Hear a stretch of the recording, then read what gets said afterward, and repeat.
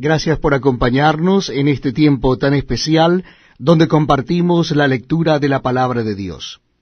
En esta oportunidad lo haremos en el capítulo 3 del libro de Éxodo. Capítulo 3 del libro de Éxodo. Dice así la palabra de Dios. Apacentando Moisés las ovejas de Jetro su suegro, sacerdote de Madián, llevó las ovejas a través del desierto y llegó hasta Horeb, monte de Dios.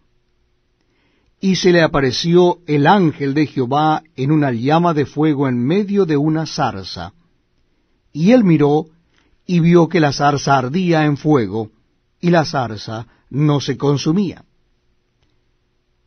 Entonces Moisés dijo, Iré yo ahora y veré esta grande visión ¿por qué causa la zarza no se quema? Viendo Jehová que él iba a ver, lo llamó Dios de en medio de la zarza y dijo, Moisés, Moisés. Y él respondió, heme aquí.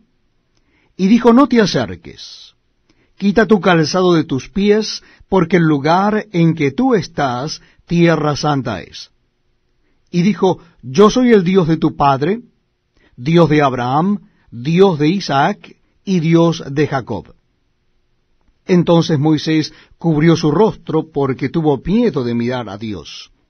Dijo luego Jehová, Bien he visto la aflicción de mi pueblo que está en Egipto, y he oído su clamor a causa de sus exactores, pues he conocido sus angustias, y he descendido para librarlos de mano de los egipcios, y sacarlos de aquella tierra a una tierra buena y ancha, a tierra que fluye leche y miel, a los lugares del cananeo, del eteo, del amorreo, del fereceo, del ebeo y del jebuseo. El clamor, pues, de los hijos de Israel ha venido delante de mí, y también he visto la opresión con que los egipcios los oprimen. Ven por tanto ahora y te enviaré a Faraón para que saques de Egipto a mi pueblo, los hijos de Israel. Entonces Moisés respondió a Dios, ¿quién soy yo para que vaya a Faraón y saque de Egipto a los hijos de Israel? Y él respondió, ve, porque yo estaré contigo. Y esto te será por señal de que yo te he enviado. Cuando hayas sacado de Egipto al pueblo, serviréis a Dios sobre este monte. Dijo Moisés a Dios, He aquí que llego yo a los hijos de Israel y les digo, El Dios de vuestros padres me ha enviado a vosotros. Si ellos me preguntaren, ¿cuál es su nombre? ¿Qué les responderé? Y respondió Dios a Moisés, Yo soy el que soy. Y dijo, Así dirás a los hijos de Israel, Yo soy, me envió a vosotros.